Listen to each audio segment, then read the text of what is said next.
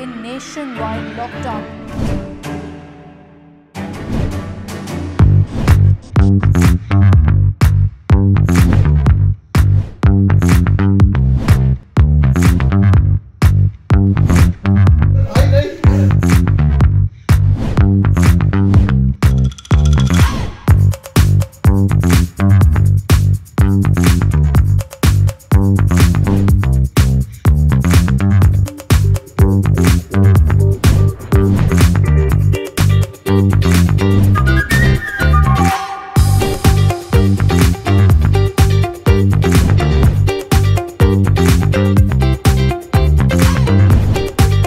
2020 was a great year for us.